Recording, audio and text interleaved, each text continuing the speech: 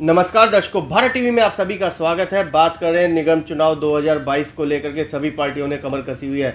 मगर कांग्रेस पार्टी की बात करें, संगठन नाम का कोई ज़मीन पर परिंदा भी नज़र नहीं आ रहा। हमारे बीच में वरिष्ठ कांग्रेसी नेता दीपक शर्मा जी। दीपक जी, क्या कहना चाहेंगे? हम लग रहा है औंधे मुँह गिरेंगे नगर निगम चुनाव में।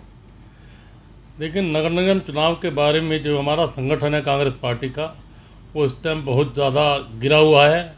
ना ही संगठन में जान है प्रदेश के अध्यक्ष का पता नहीं चलता कि दिल्ली प्रदेश कांग्रेस कमेटी का अध्यक्ष कौन है। जी।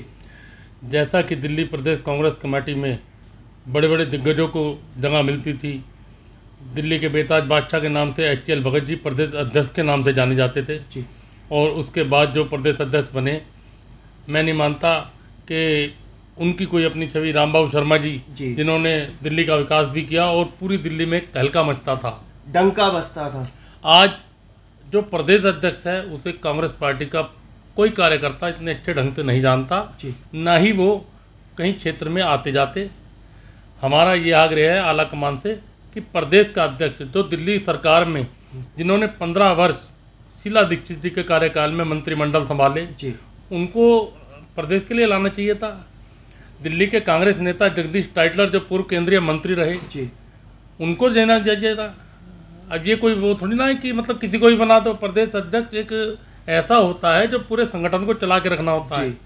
दिल्ली बहुत बड़ा और शहर है। दिल्ली बहुत बड़ा शहर है और पूरी सबकी निगाह दिल्ली पे। दिल्ली राजधानी है यहाँ पे कांग्रेस के नेताओं की कमी नहीं है कार्यकर्ताओं की कमी नहीं है लेकिन नेताओं के साथ साथ जब नेता ऐसा आ जाता है तो कार्यकर्ता पीछे हो जाता है क्योंकि नेता किसी को पूछता नहीं। आज कार्यकर्ता की बात करें तो हताश बैठा है घर में बैठा है कोई पूछ वो नहीं तो वो कहानी है ना जी जब तक प्रदेश का स्तर जो है प्रदेश के संगठन में जो साथ लेके चलने की योजना नहीं होगी तब तक कुछ नहीं हो सकता।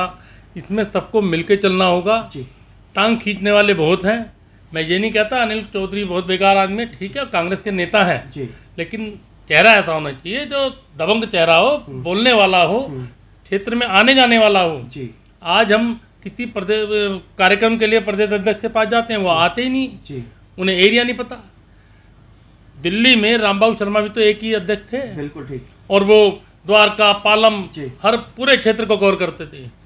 आज इस प्रदेश अध्यक्ष को एरिया का ही नहीं पता कहाँ जाना कहाँ नहीं राम बाबू जी की बात आपने उठाई। जयप्रकाश अग्रवाल भी सही जयप्रकाश अग्रवाल जी सभापुर गाँव जहाँ रात के टाइम इतनी दिक्कतें होती हैं। सड़कें नहीं हुआ सड़कें नहीं है कच्चे गाँव हैं वहाँ जाते हैं। और पूरा मतलब एरिया जगदीश टाइटलर उन्होंने। पूरे अपने क्षेत्र को कवर कर रखा है।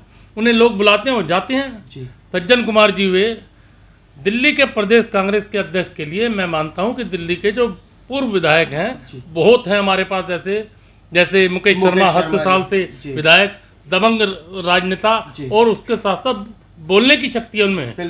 भीषम शर्मा चौधरी मतीन अहमद डॉक्टर नरेंद्र नाथ और आपका हारून यूसुफ जी। कहाँ है ये चेहरे? ना तो ये चेहरे इनकी दिल्ली प्रदेश की मीटिंग में दिखते हैं। जी। ना ही इन लोगों को कहीं पूछा जाता। संगठन आला कमान से मेरी आग्रह हाथ जोड़ के इस पार्टी को बचा लें तो बहुत अच्छी बात है नहीं तो नुकसान तो हो ही रहा है। नुकसान हो रहा है हमारी मजबूरी है हम कांग्रेस के अलावा कहीं जा नहीं सकते। जी जी जी। दूसरी पार्टी ज्वाइन करने के लिए हमारे पास भी बहुत अनेकों ऑफ़र आते लेकिन हम नहीं जाते ना करते हमें रहना कांग्रेस में जीना कांग्रेस में।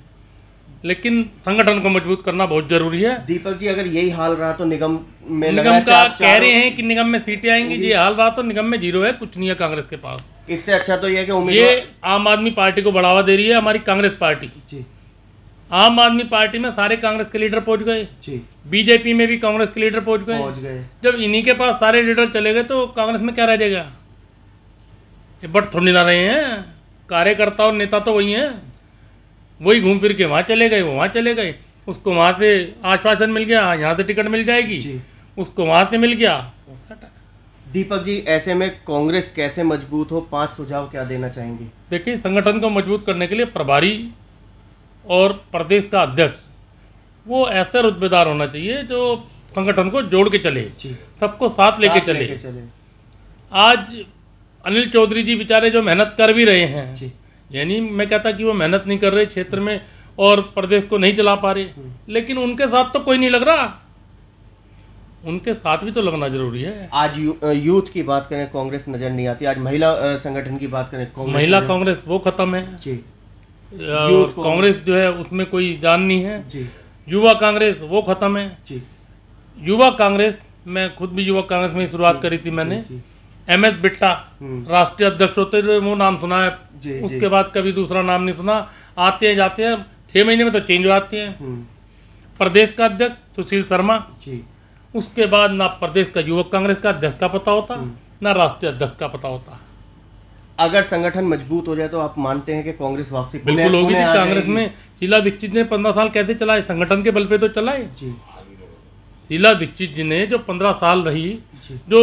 ज़मीन से बिल्कुल उठी थी और बीजेपी सरकार थी सबसे पहले सबसे पहले। 93 में जब दिल्ली की विधानसभा बनी तो मदन लाल खुराना जी मुख्यमंत्री बने। हम्म, उसके बाद शीला दीक्षित जी ने पंद्रह साल लगातार दिल्ली को चलाया वो संगठन के बल पे तो चलाया। है दीपक जी अगर संगठन खड़ा हो गया तो निगम में जीतना बिल्कुल निगम में बहुत अच्छी हमें बढ़त मिलेगी और इसमें काफ़ी सीट आने की उम्मीद है संगठन के बल पे। अभी भी बहुत समय है आज भी अगर समय को हम अपने ढंग से प्रयोग करें तो बड़ी अच्छी जीत मिलेगी इसमें। अन्यथा आम आदमी पार्टी वापसी। आम आदमी पार्टी का तो यही है जी वो केजरीवाल जी अपना झूठे वादे ढाई सौ बिजली ले लो और पानी पानी ले ले लो लो। वो लालच मार जाता है वो जहाँ वोट है कांग्रेस का वोट बैंक है वहाँ वो लोग क्या करें मजबूरी होगी फिर उनकी?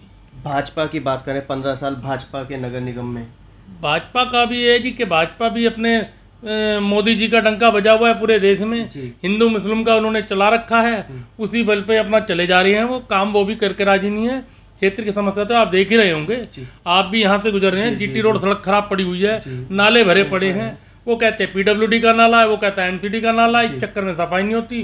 रोड पे नालों की घास सड़क पे आ जाती है और पानी भर जाता है वहाँ गंदगी का साम्राज्य बन जाता है अभी देखा बारिश के दौरान दिल्ली पानी पानी हो पूरी दिल्ली में सब जगह खड्डे हो रहे हैं।